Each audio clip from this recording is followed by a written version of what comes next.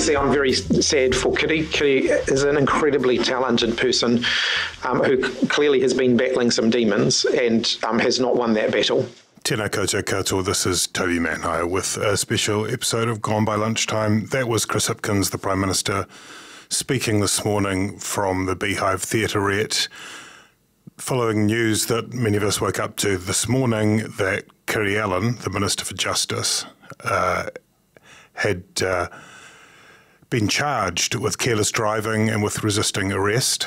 She was involved in a car crash. She was the only person involved, it seems, in a car crash late on Sunday night and uh, was taken into police custody um, until 1 a.m. She was over the infringement notice level for uh, alcohol, uh, not over the higher limit that makes it a criminal offence, and there are no charges being laid there. But it also came, and that's what Hipkins is touching there at the end of a, a really uh, complex and intense and uh, what I think Hipkins called an extreme emotional period of extreme emotional distress. Uh, anyone who follows politics has, has, followed much of this. It seemed like the kind of uh, dovetailing, perhaps, of both personal and political challenges when Chris Hipkins was away in China, there were reports about uh, Kiri Allan's um, interactions with staffers um, over the last few years.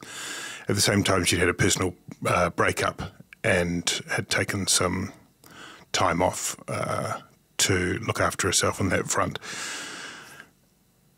The political implications doesn't feel like exactly the time to get into that too hard. I'm talking to you just after lunchtime on Monday, July 24. And by the time this uh, podcast comes out into the world, or about the time it comes out in the world, Chris Hipkins will have given his post cabinet press conference at which he will announce the reallocation of portfolios that she vacates, which are justice, um, regional development, as well as associate transport. The associate finance portfolio. In fact, she'd only been awarded very recently, um, appointed to when Michael Wood uh, himself resigned over uh, the shares he did not divest himself of in Auckland Airport. And that is, I think, Allan makes it, if you count Kiri Allan, uh, Whaitiri, Stuart Nash, and Michael Wood, that's, that's too many ministers for any government to be losing, uh, too many for one Prime Minister in six months certainly Hipkins has indicated he won't look to bring new people into his ministry, which was the same thing he did with Wood. So there are going to be some people with some pretty weighty responsibilities, though, of course, we're very close to an election now. So uh, their, their responsibilities will be limited. As far as Kiri Allan is concerned, it, um, I first met her in the 2017 campaign. Uh, she was a participant in our Candidates Diary uh, series. I asked people from various parties to recommend the sort of emerging talent, the people who looked interesting and uh, bright and might be able to write a few colourful words for the Spinoff during the course of the campaign. Chloe Swarbrick uh, was the Greens representative, Erica Stanford wrote for us from the National Party. Uh, New Zealand First didn't reply to my contact. Um, and it was Kiritapu Allan, who um, was the Labour candidate in the Candidate Diaries series. And it was terrific. Um, all of them were terrific. And they told the stories of the reasons that they were doing what they were doing. Uh, the, what they encountered along the way, including in Kiri Allan's case, uh, just about vomiting when she had to do her first live TV appearance. Kiri was elected on the on the list, and uh, she couldn't quite overcome the formidable Anne Tolley in East Coast. And uh, in her maiden speech, she talked about her upbringing in a, a, a mixed family of ten. Uh, she went on to she left school, I think, at the age of sixteen, worked for KFC. She eventually became a lawyer. And uh, made her way into the Labour Party and into politics. And one of her mentors was was Michael Cullen, who who made a big impression on her. We she went on to she was elected uh, in the in the electorate in 2020. Um, as everybody knows, she was appointed to cabinet uh, almost immediately after that by Jacinda Ardern. She also confronted some really uh, sort of daunting, incredible health challenges. Um, she was diagnosed uh, with cervical cancer, um, and she talked about it um, confronting mortality. Uh, face up. That was just after actually she'd sort of surged into full public view as the minister for for the emerg- for emergency response when she was.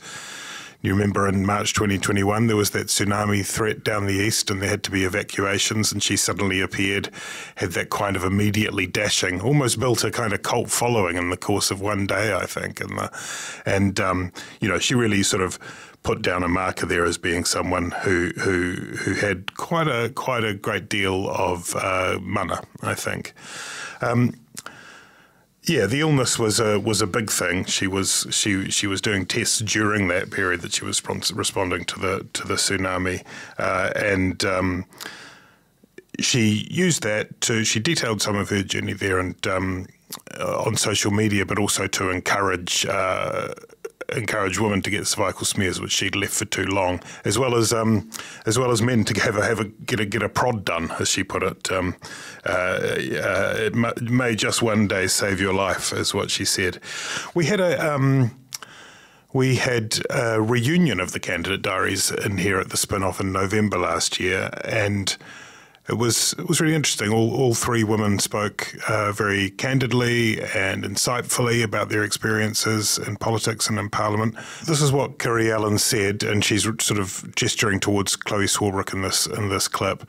This is what she said about uh, the reality she encountered in Parliament.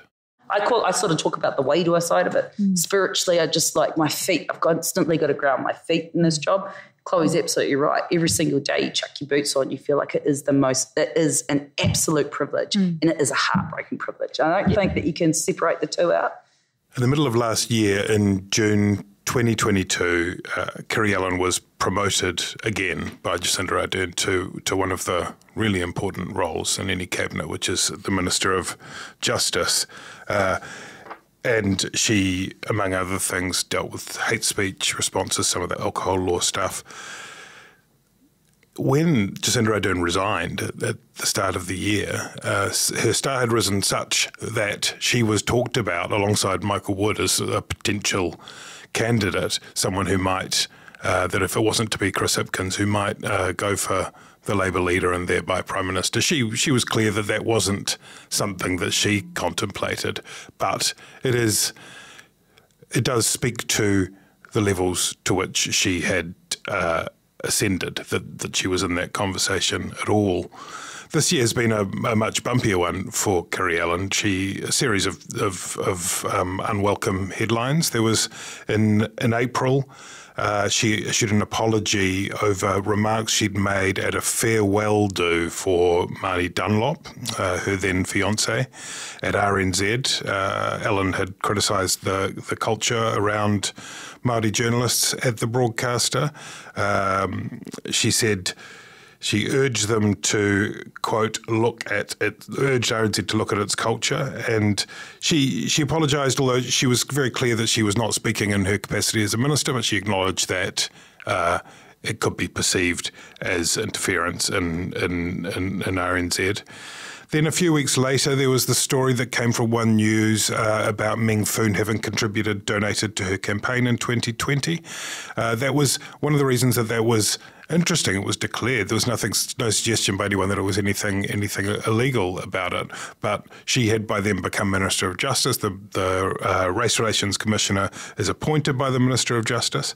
Uh, Meng Foon, as it happened, uh, was the one under greater pressure over that. But um, it obviously wasn't a, a, welcome headline for her. Then in June, we had those headlines which I talked about earlier uh, through a series of stuff pieces relating to her interactions with staff across a number of departments. Uh, there was quote unquote claims of screaming and shouting.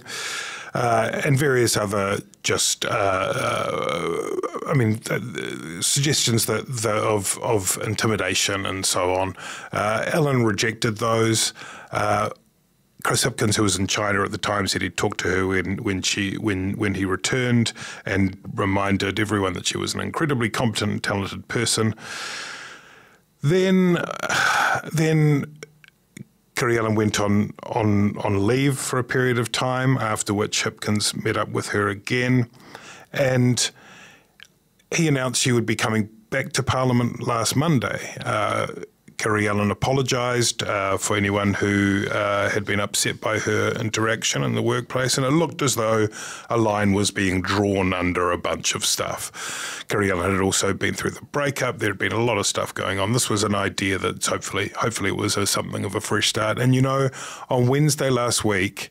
Uh, I think it was Wednesday last week. There was this. Um, it was a law and order themed week on the part of the government, and Kiri Allan was beside Chris Hipkins announcing a new specific events for ram raids, some changes in terms of the way that 12 and 13 year olds would be uh, assessed. Now, whatever people thought about those announcements, there was certainly a lot of suggestion that they were rushed. Uh, Kiri Allan looked really composed. She looked like she was on top of her material.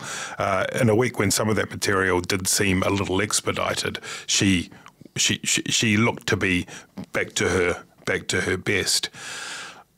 As it turned out, she wasn't. Uh, and uh, we don't know, and it's pointless to try and speculate at this point on what happened in the interim. But I do know that on Saturday morning she was posting from her kids' football game, and then on Sunday night, uh, what happened happened, and you know uh, we'll find out more, no doubt. I think Chris Hipkins is quite right when he says that it's indefensible and it's obviously untenable to have a minister of justice, certainly probably any minister who's facing charges that include careless driving, that include drinking over the uh, level that is acceptable, the lower level, albeit, um, and then driving that has facing charges for resisting arrest to remain. She's going to go and uh, go. She's gone home now and she's thinking about her political future. Um, and who knows, there may be a way back for her uh, I suppose I just don't think at this point there's any value in any further speculation around that. I will say, and finish this with something, with another clip from that candidate's diary, um, and this is by no means to suggest that. Um, it's linked to what happened because we don't know. But I think it is worth reminding ourselves from time to time about the kind of uh, immense pressures that MPs on all sides in the parliament find themselves under. This is Kiri Allan talking about the kind of waves of um, of anger, of uh, vitriol that politicians have faced in the last year or so. Um, she said that she could deal with it when it was online. She could even deal with it when it was um, when it was just her. But when it when family were involved, that it became something else entirely there's so much vitriol rubbish that goes on. The thing that does get me a little bit though is when I'm with my children mm. and I am threatened. Even by myself, I don't mind. I mean, I can manage that. But it's when I'm with my kids. And that up the temperature over the past oh, year um, to the extent people were following you, I would have to park in public places and literally wait and have 111 on your phone and those types of things. That stuff when you're by yourself is like, okay, but if you've got little kids in your car and they're seeing you or they see you scared, or not scared, but just like, right, you know, you, that's that's not kind of something I think is acceptable. Um, a, a, lot, you know, in my weekends, I try to spend as much time as I can with my kids, usually doing worky stuff, but um, at least you're out. But I just remember this one engagement. I was at a Bunnings and, um, you know, got the kids with the bloody sausages and they got tomato sauce over there and we're running through trying to get, I don't know, nails or whatever it is that we're doing. Uh, and just literally being kind of cornered in by two people who were very aggrieved around mandates, um, but locking us in, myself, my partner, and our two kids at the end of a row in Bunnings, and you know having a you know, it's interesting. You just kind of have to, and that wasn't this that incident's not isolated. I think I just found that one a little bit egregious because I didn't quite know how to manage it with my babies. But I don't like that. I don't like that that's become the state of New Zealand. Like I said, the thing that I find most energizing about why we all do this job is because we give a damn about our people. I'm a real grassroots politician. I love being on the ground. I love our people. It's where I get my energy from. Um, but yeah, something's changed. Mm-hmm.